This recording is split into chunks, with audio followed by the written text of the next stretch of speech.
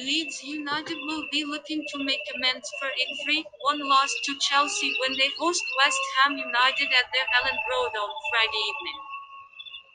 The Whites have been producing fine displays on their return to the Premier League, but they need to keep on raising their form if they are to secure the Elite Division survival.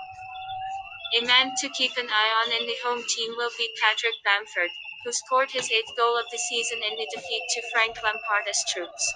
Defender Robin Koch, who picked up a knock at the weekend, is rated doubtful for Friday's clash. The Hammers, on the other hand, experienced all sorts of problems at the back in a 3-1 loss to Maynard, and given their anything but good away record, home win should be considered. Antonio remains in the recovery room, while Fredericks should be fit to face the Whites.